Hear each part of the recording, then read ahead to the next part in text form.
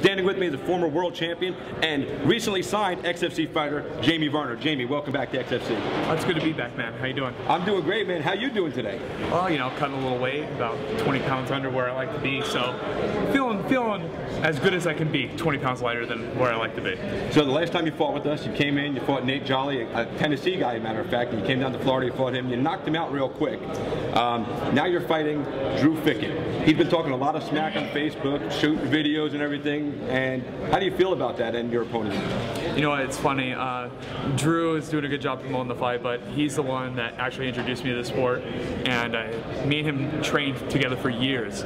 He was my mentor actually coming up when I was 18 years old, so it's an honor to fight him, and he's doing a lot of talking, but I'm hoping to do all the walking and get my hand raised at the end of the night. So is this a case right now where the student is going to show up the mentor? That's, that's what I'm thinking, you know, maybe the student can teach the teacher a few lessons, you know? So, and, you know, for you guys at home that don't know, Jamie, um, you apparently told me earlier that um, UFC had come knocking at your door, and you said you wanted to stay with the XFC. Why is that?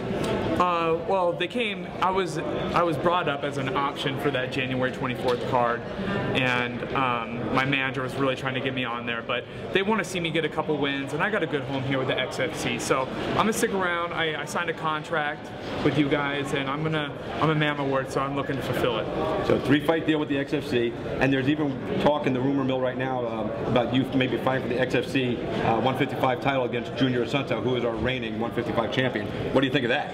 I like Junior. He's a great guy, and uh, he's a talented fighter. And I feel like I could get I could get up for that fight.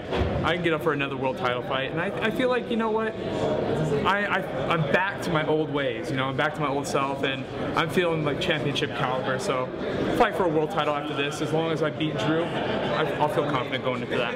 Everybody, Jamie Varner, he's now a contracted fighter with the XFC, and he's looking to go right through this fight and step up for the XFC 155 title. So we're going to see what happens. For the XFC and Jamie Varner, I'm Christopher James. We'll catch you later.